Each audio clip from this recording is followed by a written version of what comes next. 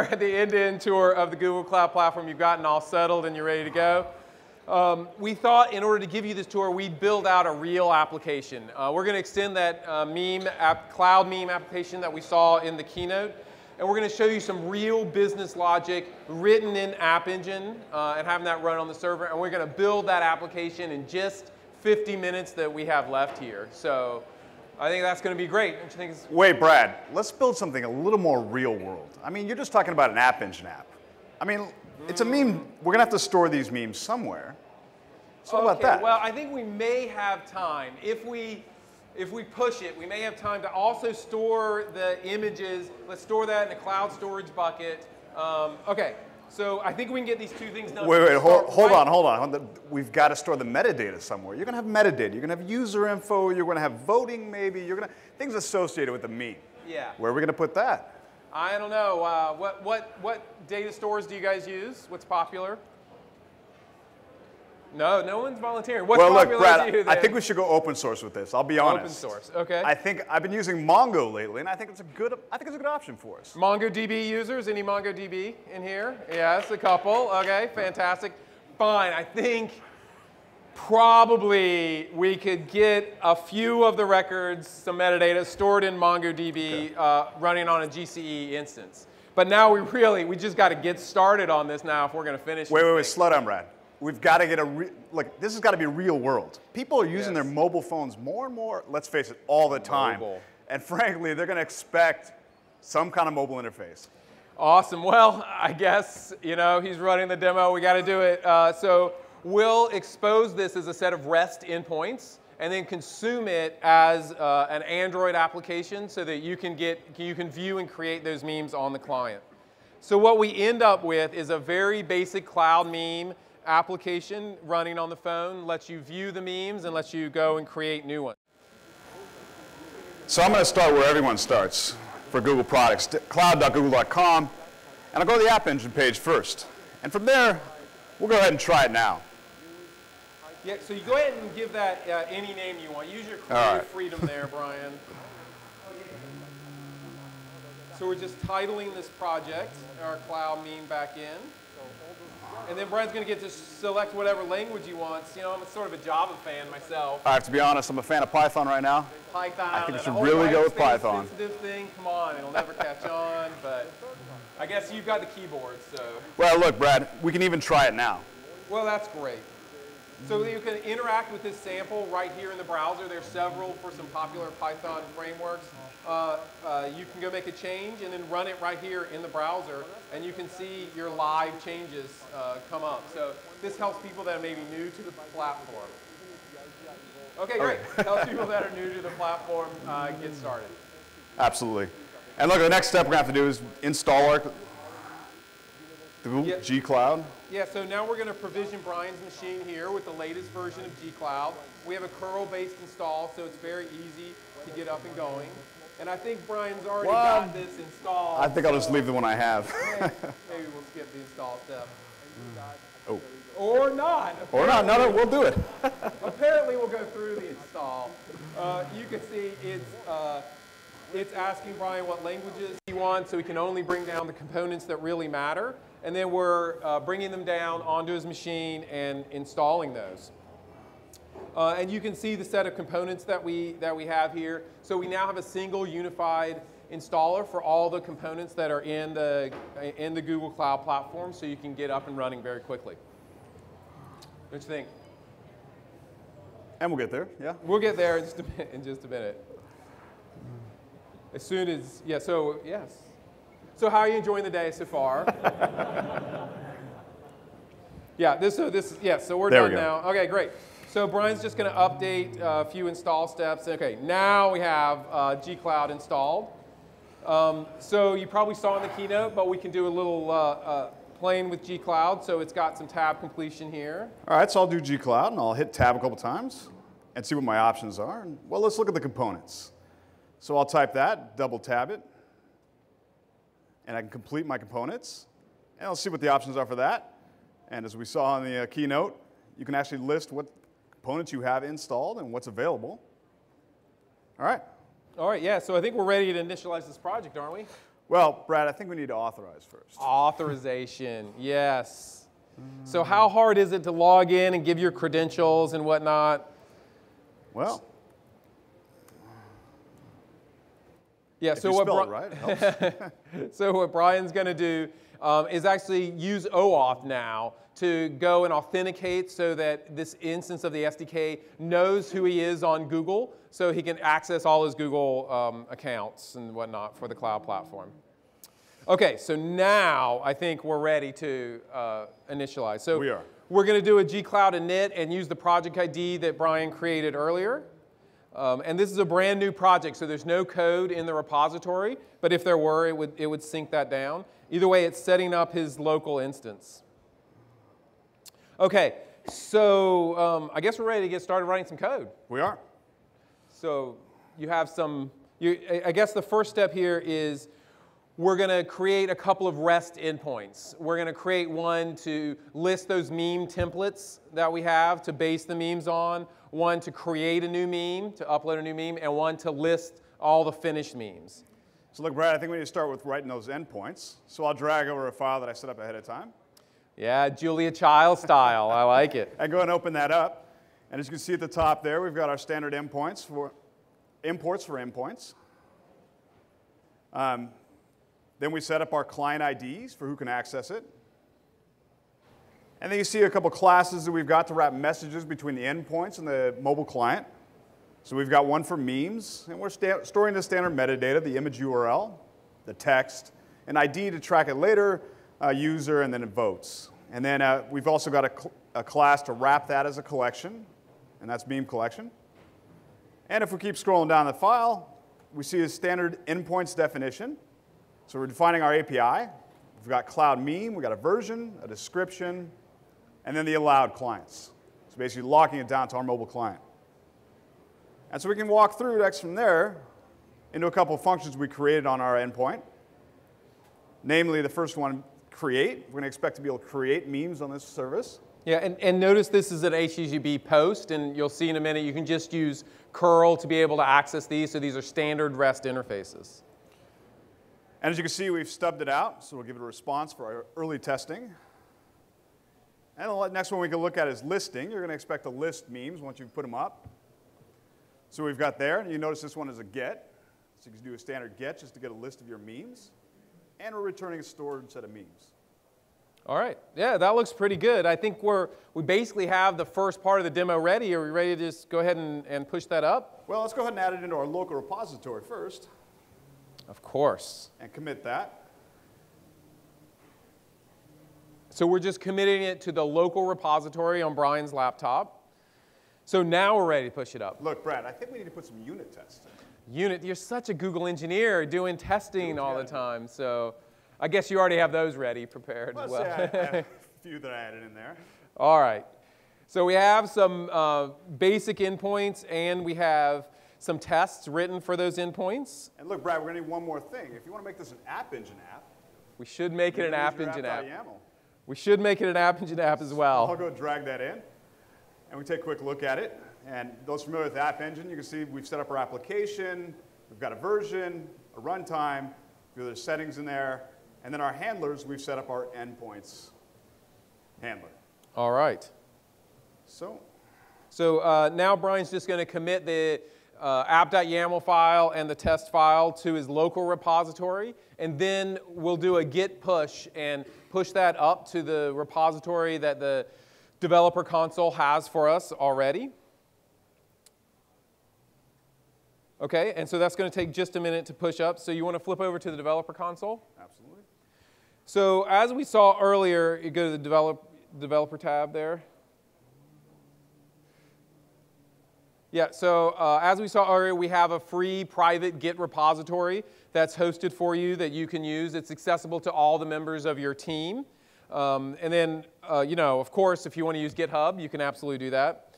Um, and then after the push has happened as a post commit action, we're going to run our Python unit test. You saw Brian add some unit tests. And the way we're going to do that is we have a virtual machine spun up, and it's already running Jen- Jenkins. And Jenkins is an open source workflow management tool that's, that's pretty popular. And it's got plugins for everything. One of the plugins is to run Python unit tests. So you want to switch over and look at that VM? Yeah, let's do that. So that VM has been spun up, and you can see in a second probably the spikes where Brian has been practicing this demo. Uh, and what we're doing on this machine right now, we've already prepared it with, uh, or the cloud platform prepared it for us with Jenkins. And then when we did that push, it pulled the code down onto the VM and it, uh, it started executing all those unit tests. So uh, at this point, we can see the progress on the unit tests and see how they're going. Absolutely. So if we switch it, yep, and the release history. So we should see an entry there for the unit tests. Um, yep, and you can see uh, the tests have already done and deployed. But why, why don't we go ahead and look at the tests, though? Um, so these are the, the test results page. Uh, so you can see here the list of all the tests and the runtime. Uh, Brian wrote some very efficient tests there, it looks like. Stubbed out for now, yeah. Yes, yes. Um, okay, so there's the test results. So at this point, if there was a break in your test, you could use this to drill in and figure out what the issue was. So then uh, if we go back to release, I guess we pushed it to production now, so we're ready to test that out. It is deployed. So, but what we, remember what we built was a set of REST endpoints. So how are we going to interact with those REST endpoints and test them out to see if they're really working? Well, we can use the API Explorer. So as you can see, with any app that you have, you can actually type in, use the specially defined URL to give you the Explorer. Yeah, so uh, underscore AH is the sort of magic system provided URL space for App Engine, and then slash API gets you into endpoints, and then slash Explorer will bring you into this view with your own APIs set. So, so you can see, this yeah. is the API we defined, Cloud Meme API. And coming into there, we have the functions we defined on each of those. Awesome. So, so we can go ahead and test list, for example. Yeah, and that's returning um, the hard-coded set that we have. Notice in the first box there, it's showing you exactly what the sort of curl command would be, what the HTTP GET is to be able to access this method, and then it shows you the response in JSON. So this is a nice debugging tool. Um, it's a nice way to establish whose bug something is, if it's on the client or on the server. You know if it works here, then it's not a server issue. Yep. And we go back, we can even test our create. So probably we stubbed that out as well. And inside the request body, you can add in the elements that we expect. So I'll put in a test URL, as well as some test text. And I can go ahead and execute that as well. Oh, it looks like you got an error there. we do need to authenticate. Okay. So we are going to ask our users to authenticate to create means. So you can do that here by clicking on the button at the top and authorizing. And then we can go ahead and run that same query. Yep, and notice here in the request, again, it shows you the um, metadata that you need to send up with the request to be authenticated. So again, if you wanted to try this, uh, write, write your own lightweight wrapper for it, you could in JavaScript or whatnot. And then, of course, it shows you the results. Absolutely. Okay, so I think we got the first step done, right? We do. Okay, so let's switch back to the slides. Uh, so what, you, what we just showed you is that it's very easy to get started. We talked about using those standard tools. We showed you the simple build, test, and deploy, and how to test the service with API Explorer. Uh, obviously, we only touched on this briefly. If you want to drill in more in this uh, room, at 1 o'clock there'll be a DevOps at Google um, that I encourage you to come to where we'll drill into it in more detail. Okay, we're ready for step two. So Brian said we're going to build an Android app, so let's jump right into that. Uh, we're going to focus on two key pieces of that. One is we're going to build an Android optimized uh, Java client library for the services that you just saw, and we're going to show how to integrate that with Android Studio. So back to the demo machine. All right, we're back in our directory that we added our files in, and we can run the endpoints command, get here.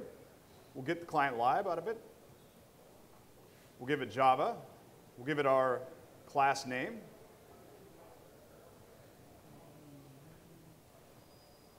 And then we'll ask for it to build, give us a build system, and we'll use Maven.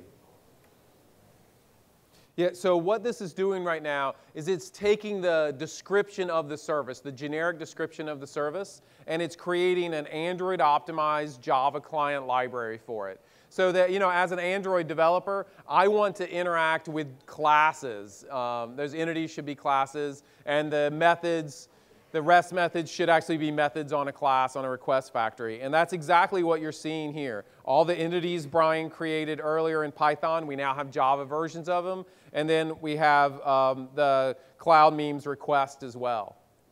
So now what's left to go, oh, do you want to look at one of them? Well, or, yeah, Brian, let's look at one of them. Why That's you take a look at fantastic. them? Yeah.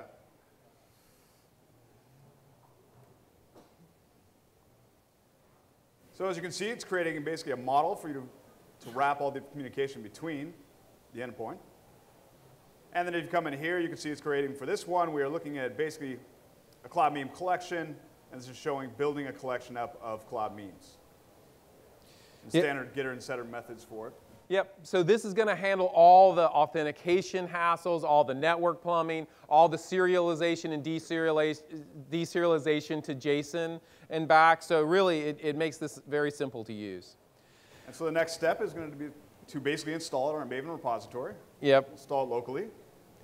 So because in just a minute we're going to access it from Android Studio, Android Studio uses Gradle as its build system, which knows how to speak to the local Maven repository. So to make that easy, we're going to put it into our local Maven repository here. So I think that with is that that didn't quite Ah. work there, no, it Brian. did not. Make sure I'm in the right directory. Ah, okay, yes. All right. Okay, great. Yes. So now he's got it in his local Maven repository. Uh, now we're going to pop up Android Studio, right? Absolutely. So Android Studio is an IntelliJ-based IDE that we're um, moving to. It's a good option if you're an Android developer. Um, and what we're going to do, actually, uh, Brian already created most of the Android app. Um, the boring bits of the Android app, all the UI, all the user interaction is already done. And what we're going to show now is how to access the service that we defined. So I guess the first thing you need to do is change the Gradle build file. Absolutely. So we'll open that up. And we'll add in our dependency on the uh, new Cloud Meme library. We- And we can go ahead and sync that. Yeah, so again, um, Android Studio uh, uses Gradle as its build system. That's a, you might recognize it's a Groovy-based build language. Um, and that's really important for the flexibility that you need to build when you're building Android apps targeting multiple devices and whatnot. And what we've done here is just referenced that library that we just added to our Maven repository. Okay, so we've got the library. Now um, I see you've got the source code in there. Yeah, so we'll, we'll open up our uh, meme lister. We're going to have to list our memes. And then we'll go ahead and add in some additional code to access that new library. Yeah, so now we're going to show the code that's uh, actually required in order to uh, call those methods. So if we walk through this very quickly, we can see we're im- importing the Android app. You can see from here we're creating our service that we're going to use to communicate to the endpoint. At this point, we build it. And then for handling the intent, this is basically communicating with the UI layer. We can create our new meme. And then we can handle the create return back from the back end. Okay, so that looks pretty good, right? We're ready to run it? Let's do it. Um, so just to make it more fun, uh, we've already got a version of the app running on this phone, so can we switch to the phone? Um, so this is what the resulting app looks like going against those services. Notice we uh, only have a couple of those stock memes that are there, but we have the basic UI functionality in place. Um, we've got the meme there, and I can say, hi, boss, and I can go ahead and post that, and it's calling our service, but of course the service is stubbed out, so when we do the list again, we get the same static uh, defined ones. But we have shown that we can build a basic Android application and that it can call our services up there on the server. So, ready to, can we switch back to slides, please? Okay, so, right, what we just showed you was creating this strongly typed Java client library using the endpoints command. We, we talked about the Maven package management support and how to build the Android app. So uh, at the end of the day today, or at, at 3.30 today, there'll be a whole talk just on building cloud backends for Android apps that will be right in here. So I encourage you to go to that if you want more info. Okay, we're ready for the next step. Um, it's time to make this thing really production. It's sort of a toy app so far. We're ready to make it real. To make it real, we're going to do two things. We're going to store that image data. We're going to store it in Google Cloud Storage, in our blob storage, our bucket storage there. And we're going to spin up a MongoDB cluster and store the metadata for those images in that cluster. Okay, Brian, are we ready to roll on that? Okay, let's switch back to Brian's demo machine. So if we're going to add in the next service, we're going to go back to our files, and we've prepped a few more uh, to uh, accomplish this. I think the first thing we'll do is actually add in our cloud storage and our image generation. And if we pop open the cloud storage, take a quick look at that. You can see we're importing our cloud storage Python library, which is again is a Google provided library. Setting up a URL for our memes to be at. Coming into our upload method, we can see we're defining a unique ID, assigning it a file name that we're going to upload to cloud storage. And in the middle of the file, we're creating our cloud file on cloud storage, putting in settings there for writing a file that it's going to be a PNG image, and then it's public readable. And then from there, we're basically writing out the binary image that we pass into this function into that cloud storage file, and then the last step is actually writing it out to cloud storage. Yeah, that looks pretty easy. So again, what Brian's showing you here is code that's running on App Engine that's taking the image and uh, stitching it together, putting the text on it, and then storing that off to cloud storage. So uh, you want to show it in cloud storage? Yeah, show the cloud storage viewer? So if we come into the uh, developer console and you're on your application, you can click down on cloud storage and you get to your browser. As you can see, we've set up some buckets for use. Cloud meme bucket is the one we're writing to. And, and it's not see, really in Spanish, though, is it? It's not in Spanish, no. um, and as you can see, we've actually been doing a bit of testing, so we've got some memes in here already. And again, this is all can be accessed from your application, both writing and reading. Okay, so that looks great. So that's the basic story for storing memes in cloud storage, storing the image data in cloud storage. The next step we need to do is store the metadata. That is the text description so we can do um, searches on it, the who, who uploaded the meme, and uh, other metadata. So in order to do that, we need to, we need to create a MongoDB cluster, don't we? Let's do that. So um, we're actually going to use Cloud Deployment Manager, which we'll, uh, you'll hear about a little bit later, but it's a way to deploy software onto Compute Engine instances. And we're going to spin up several nodes of MongoDB um, and, and uh, configure them for us to use. Absolutely. So basically on this page, we have a way to deploy MongoDB in a, large, in a size cluster. So basically we set up a replica name, you can choose a zone, choose a network to deploy it to, give it a prefix, and then actually choose the count you want to deploy of nodes, as well as set up your disk sizes and your arbitrary. Yeah, and you can just uh, hit de deploy cluster there. Um, that's going to take a few minutes to deploy, so we, we already actually have a MongoDB cluster that we deployed earlier, um, so we're going to switch over to use that. Uh, but this is a great way if you want to experiment with the platform, uh, do some performance testing on it, do some capability testing. This is an easy way for you to go put some open source packages up there and, and see how they perform for you. And of course, all this is being deployed on virtual machines that you own that you can go and SSH into, control however you want. Um, so they're, they're fully yours. So the next thing we'll do is actually add in the connector for the Mongo. So I've got a little code I prepped ahead of time. So we'll go ahead and cut and paste that back into our API file.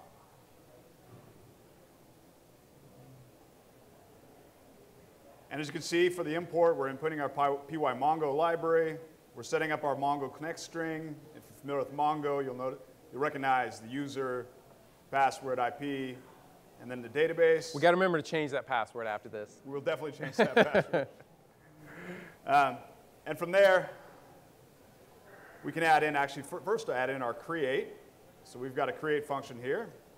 So we'll scroll down to create. And we'll create, basically pasting our create there. And then we'll also have a way to list our memes get the metadata back from Mongo. So we'll go ahead and take that and paste that in. replacing our stubbed implementation. And then we forgot to do one more thing. So I'll scroll up. We did forget to put in the code for our cloud storage connector, so we'll go, mm. ahead, and, we'll go ahead and add that in as well. So we'll add in our imports for cloud storage. Those are handy comments you have there. It's very comments. helpful. and the bucket. And then we'll go ahead and add in the code to create the meme as well as upload it to cloud storage. So back into our create and replace our stubbed implementation. And now we're ready to create it in the cloud. Okay. So now what we have is code that can um, store images in cloud storage and store the metadata into MongoDB. And then when we do the listing, it pulls the image URL out of cloud storage and pulls the metadata out of MongoDB and returns that back to the client, all over REST endpoints. And so to make this happen, we've got a few libraries we need to install okay, as well. Right. Just standard libraries. So we'll drag those all in, go back to our console, add the stuff we just committed to the local repo. Mongo. Okay, so this is going to take just a minute. Uh, Brian's going to commit it to his local repository, and then he's going to do a git push and deploy it up to the App Engine app. Now, what's going to happen on the App Engine app is we're going to sync down all the source code that he just created, um, including his unit tests, onto that Compute Engine instance. And then we're going to um, use Jenkins to orchestrate a workflow that has us doing uh, tests, uh, running all of his unit tests across, across those. Um, and then when those unit tests are done, go ahead and push that out into production. Now, all that's going to take a couple of minutes. So uh, in the meantime, let's look at the release history and maybe we can look at the diffs between releases. Absolutely. So one of the things that is very cool uh, is that we actually roll up all the release diffs into a single view. So imagine you have a production issue and you're debugging it. You want to know what code changes went in this last time. So if we do that, um, we see this diff view here. Notice there's two different changes that went in, uh, both done by Brian, but in a big project, you might have them done by several people. And then we can kind of get a sense for what changed at, at, at this particular release. So just click on one of them and let's see. Yeah, click on a more interesting one. Okay. Not that one. Any one but that one. Okay, well, it's it, all of them are starting from blank. Is that yeah, basically the deal? Yeah. Okay, yeah. So anyway, it would show you exactly what the changes are. So now, should we go over and see how what our well, progress is? I just is? realized we did forget one more thing. Oh We've, my goodness, we're in one our more thing. YAML, and we just want to make sure that we update this to the latest uh, version. So like okay. I'm make a change. Um, ah, yes, the demo sure version. the real version, yeah. Call it demo one for now. Okay, yep. So you're seeing the real thing. Uh, so now we get to go deploy it again. And now um, what will happen now is if, if it's not done uh, with the build and test when a new one comes in, it actually scraps that one and starts over with the new one. So it doesn't wait for the first one to finish because we notice this kind of thing happens. Uh, you know, right at the last minute, you figure you missed something, so there's no point in finishing the build on the other one if there's a new one right behind. And so you can see we've come to our source. We see that source repository has already been updated. And then right now it's pushing it out, putting it into, yep. pushing into Jenkins, doing the uh, unit tests. So you want to see if we're if it's let's see if it's reached a test now. So the way this works is this line is actually written as soon as the unit tests start to run in the case of Python, or in the case of Java, as soon as the build starts. Um, so is it, is it there? It's there. It's okay, great. Yeah, fantastic. Oh, and it already deployed. It's a deploy, yeah. Awesome. So we're ready to test it out. So you want to test it out in API Explorer? Absolutely. All right, so we can come back into our API Explorer, just refresh. We see our methods we had before. They're no longer stubbed out, so we'll go ahead and do our list. Yeah, and so this list at this point um, is, uh, uh, we have a great server error there. Well, look, I'll make sure we're on the right version now. Okay. So what, uh, what Brian's going to do now, so App Engine actually supports having multiple versions of your application running in production at the same time. Um, and that's, that's useful for doing things like A-B testing. It's useful when you're staging out a release. Maybe you want to um, ha have it only accessible uh, to a few people and then roll it out to be the main version. So we'll go ahead and do a list on that. And now, okay, now we got them. And look, Now those are real. So that's pulling this metadata directly out of MongoDB. So the MongoDB instance running on GCE, um, pulling that data through to App Engine, and then it, it sends it out, uh, serializes it to this JSON interface. And we'll go ahead and list, uh, we have a set of templates that we can build from, so we'll go ahead and list those. And you can maybe grab one of those URLs. I'll grab that top URL there. And then my favorite thing, you can go in and actually post a new meme. And this time when he posts a meme, it will actually create that meme, store the meme in cloud storage, and store the metadata in MongoDB. And then we'll make sure we auth before we send that off. Ah, yes. and we'll Just see if that, yes, fantastic. Okay, so it looks like it worked. Um, it- did, it, it- did it create the meme? It did so what. Earth says goes. Okay, so now what we want to do, can we switch over to the mobile device? And you see, I just refreshed this um, right now as they were coming, and the very first meme is the one he created, what Earth says goes. So pretty cool, huh? And of course, um, I can do the same thing. I can say, oh, whoops. Yes, boss. Whoops. Uh, and I can go ahead and post that. And now I'm posting it from the Android device. It's going up through the App Engine endpoint, storing the image in cloud storage, the metadata in MongoDB, and then returning all the results back down to the device. So that's pretty neat.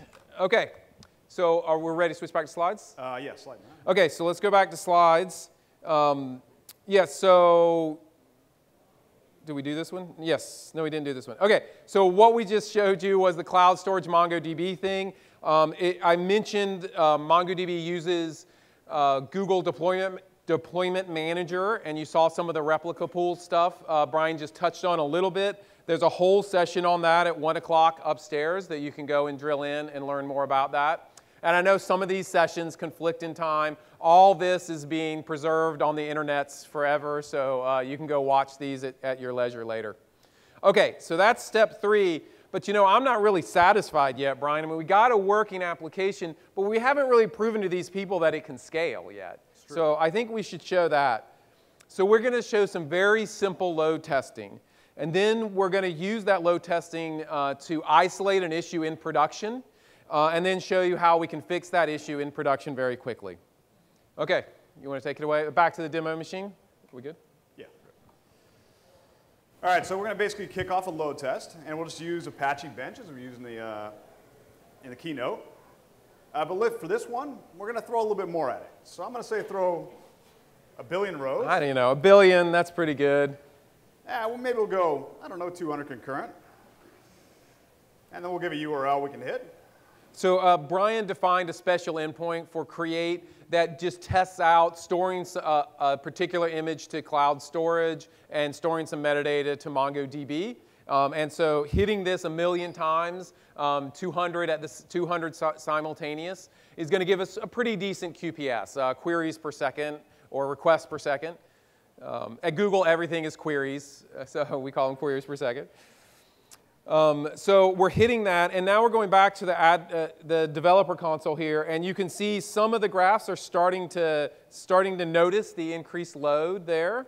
Um, and I notice, Brian, these um, errors by status code, just scroll down a little bit, um, we're starting to see, uh, or at least last time you did the demo, we saw We a few spikes coming up, yeah. a few spikes. There's a little latency in the graphs, so we'll see a spike in 500s in a minute. So why don't we switch over to the, data, the uh, logs viewer and see if we can find out why we're seeing those log errors. So, so, so again here, um, what we're seeing is all those requests are coming in, and each request from whatever front end, I think, I think we said we had five or 10 front ends running right now. Um, there's about five front ends running right now, and we're aggregating logs from all those front ends and putting them here. Every create is creating a log entry. And you notice some of them are actually uh, 500s. Um, so you're going to filter down Yeah, to filter find down. just those 500s. So those are, those are troubling. Uh, that means we actually have an issue in production, and it seems to be happening for only some requests. So we need to debug this and figure out what's happening. Well, it looks like there's an exception, Brad. There's an exception, Let's, so at- it's let's track that down, and we can click down in the file.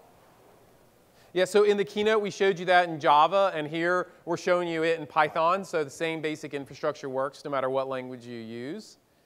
And as you can see, it dropped us into the file and highlighted the line that's causing the problem. Yes, that, I think that random five is probably the source of your. manufactured. I. Yeah, it looks a little bit of an issue. So again, at this point, because it's in a Git repository, uh, we could go back to the local machine and fix this issue. But because it seems like a pretty obvious fix, I think, um, Brian's just going to click on Edit here and go ahead and um, remove this erroneous change. And then he's going to commit that back to uh, his production Git repository. And so um, you should probably have this down by now. What's going to happen when he uh, clicks commit, right? So it's going to put that change into the Google hosted repository. And then it's going to sync down the code into the uh, compute engine virtual machine that's running uh, Jenkins on there. And then that Jenkins workflow is going to kick in and it's going to run all our unit tests across there. And given that those pass, hopefully, uh, we'll deploy that out into production. So that might take just a minute for it to deploy out to production. Okay, so yeah, so what, ha- what's, what we're showing you here is that it's already um, deployed, it's already run all our tests, and it just finished deploying to production. So now, if we go back to the logs viewer, we should see uh, a beautiful lack of 500s. If we are successful here, as he scrolls down, remember we're still hitting this site with a billion requests, right? So it's going to take a while to get through those. And now we don't see any 500s. So I think our logs are clean. That's pretty good, Brian. Thanks, good, man. yeah. That's good. All right. Cool. Okay, so back to slides, and let's uh, wrap us up here. So what we showed you in this part is we showed some basic load testing with a Apache bench. We showed you how to do some debugging in production and how to fix that production issue. So if you want to hear more about how some of this works under the covers, what's really going on, uh, at 2 o'clock there'll be a scene inside your service session. That's a good one for you to check out. Okay, so wow, um, we did a bunch here, Brian. Like we started absolutely from scratch. We built a real-world Android application. It had MongoDB and Google Cloud Storage in it, and then we showed the whole DevOps workflow here. So that's that's pretty good for 50 minutes, don't you think? Not bad. Yeah. I have a hunch there might be a few people that want the source code uh, for what you just did, uh, and Brian uh, will post that shortly uh, uh, up on his GitHub repository, so you can go and check that out. Um, and then um, a lot of what we've shown is already available to you in the Cloud Console, but there's a few things that were not quite ready. So if you want to get Trusted Tester access, um, there's a form you can fill out there. Uh, all of it will be ready in the next few weeks, but if you just can't wait and you need the linking logs to source or some of the other features, um, you can fill out this form and get access to that. So thank you very much. Thank you.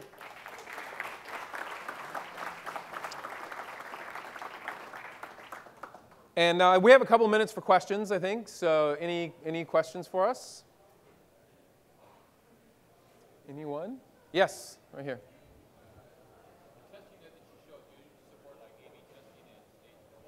Yeah, so the question was about A-B testing and staged rollouts.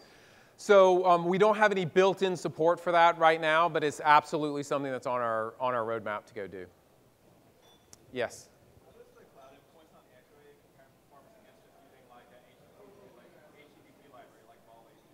Yeah, so the question was in performance between cloud endpoints on Android and just like a HTTP library. I think you'll find they're very uh, similar because you saw the REST requests that we were showing. Uh, you can hit those with curl. There's very little extra metadata that we're sending down for cloud endpoints. Um, so I, you know, I, I suggest you go do some perf testing, but it should be pretty close. Okay. Oh, and there's a mic. Fantastic.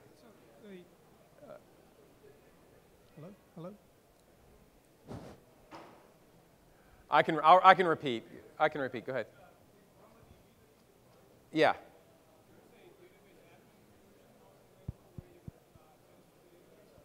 Yes. So something we're looking at. Today we're looking at purely a launch. Once you get it launched, you can manage it yourself. But ongoing, we'll look at additional tools we can provide. Yeah, but, but I mean, Brian, when we were building this demo, very regularly uh, went to the Mongo. In fact, can you bring it up? Can you bring up the Mongo admin console? So it's just installing Mongo on a GCE uh, image. So all the existing MongoDB admin tools work. So we haven't done anything special. What, what Brian's mentioning, we haven't integrated the MongoDB admin UI into our developer console, but you can just hit the right URLs, right? Uh, no. Not yet. Well, not yet. Not Soon. Yet. Something we're soon. working on. Soon. Okay. Coming soon. Okay. Yes. Uh, plan languages. So there is a session. There is a session called something like New Languages in App Engine that I encourage you to, to go to. Okay, so I think we're just about out of time. We're, this is the only thing separating you from lunch. Um, so uh, Brian and I will be up here for a few more minutes, so feel free to come grab us if you have more questions. Thank you. Thank you.